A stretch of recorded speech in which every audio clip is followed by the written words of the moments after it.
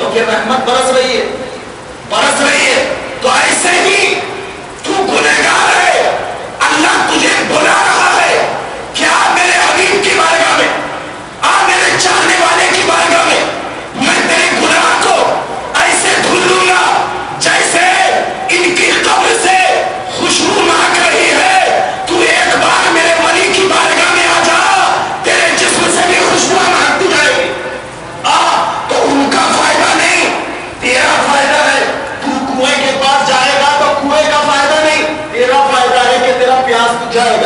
کنواں نہیں آتا نہیں آتا ہے۔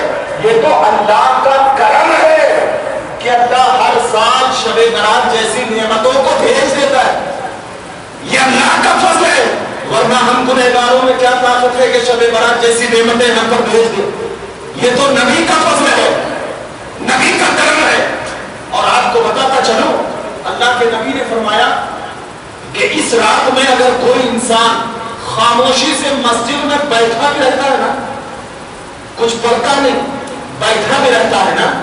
تو اللہ کے نبی فرماتے ہیں کہ اس کے نام اعمال میں اتنی نیکیاں لکھی جاتی ہے جتنی کہ بنو کل کی بکریوں میں بال رہا کرتا ہے، اس سے بھی زیادہ نیکیاں لکھی جاتی مدینہ المنورہ میں سب سے زیادہ بکریاں پالنے والے ایک قبیلہ تھا، جس قبیلے کا نام بنو کلب تھا، اس سے زیادہ پورے مدینے کسی کے پاس بکریاں نہیں تھی اب ذرا بتاؤ کتنی بکریاں ہوگی؟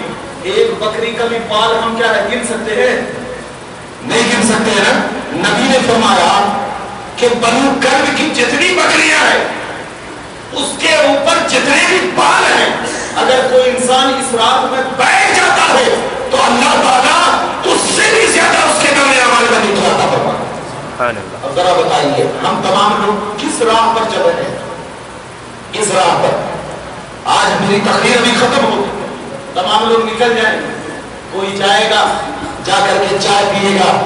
کوئی حدیث کھائے گا۔ کوئی بائک لے کر بیٹھے گا۔